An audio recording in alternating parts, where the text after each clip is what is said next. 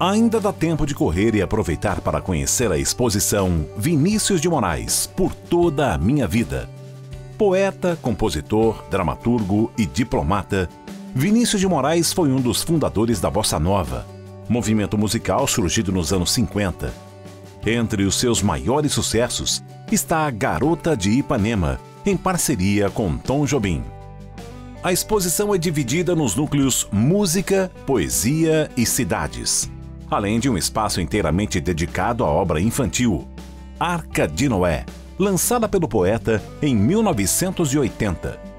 Também é possível conferir manuscritos com versões preliminares de diversas canções icônicas que se tornaram parte da cultura brasileira.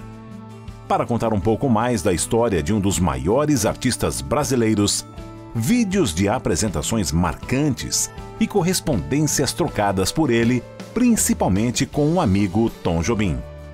Obras de artistas plásticos amigos de Vinícius, como Portinari, também são exibidas.